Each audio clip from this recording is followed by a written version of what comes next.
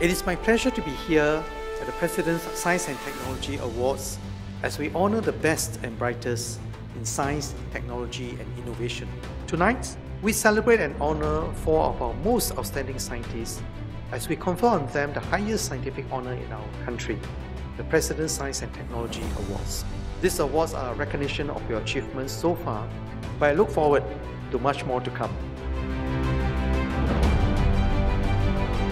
I hope you will pay it forward by mentoring younger scientists and inspiring the next generation to follow your footsteps. Talent lies at the heart of what has made our science and technology community vibrant. And with a strong community of scientists, we can build a better future for Singapore and the world.